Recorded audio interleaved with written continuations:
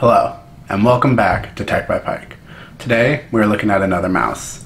It is from EVGA, and it is called the X17 FPS Gaming Mouse. Let's get into it.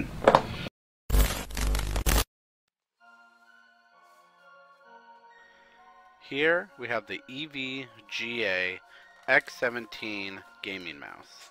Let's go ahead and open this box up. Before any box open I do, I always cut the tape off because it just takes me way too long to mess with it.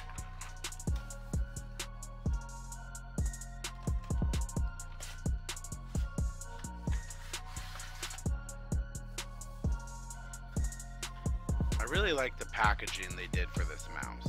It really looks like it's on display and they're trying to show it off through the plastic.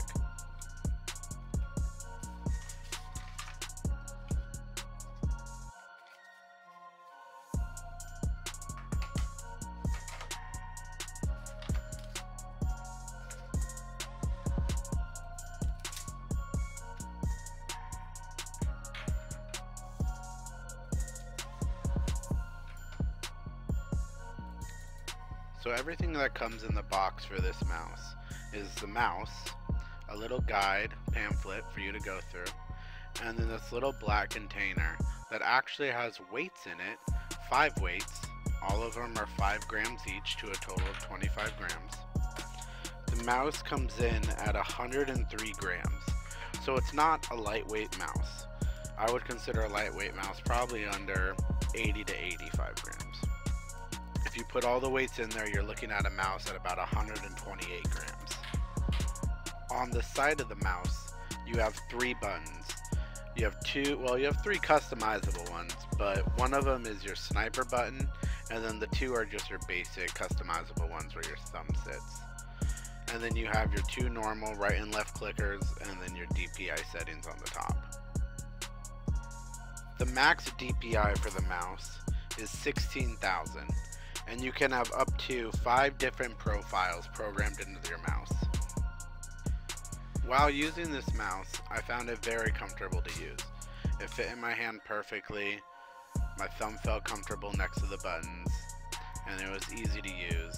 My only complaint is the location of the sniper button. In order to use it, I had to adjust my hand to press it, and I felt like that was pretty awkward if you're in a high situation, high stress situation in the game. So there's a couple unique functions about this mouse. The first one is with the DPI settings. You control your DPI by these buttons up here behind the wheel. By pushing them, these little lights show up on the side of the mouse to show you which setting you're currently using. It also has a sniper button right here when you press it, it lowers your DPI setting to 400. So your mouse is going to move extremely slow for you to be able to get those sick nasty headshots. The next thing with the mouse is that it comes with weights, which is pretty unique. I've never seen it before. A lot of people try and get lightweight mouses, but this one offers you to go from lightweight to significantly heavier. You have a max to go up to 25 grams heavier, five weights, five grams each. Bottom of the mouse opens with a little compartment here. Easier said than done. You have the five slots. This mouse really gives you the option to make it customizable for its weight. You could either add one or all five or none start with its base weight or add 25 grams. It's really about what you find most comfortable while using it. Maybe one day, try with it all, take them off one at a time, see which one you like best. Let's go ahead and look at the RGB for the mouse. It has four lights. You have two in the front, one around the wheel well, and then you have the E in the very back. I think the two lights in the front are pretty unique, like a lot of things on this mouse. It looks like they're headlights for a car. The lights seem to just do a rainbow effect of different colors. We appreciate everyone who's watched our videos and liked them. Please subscribe and have a good day. Thank you.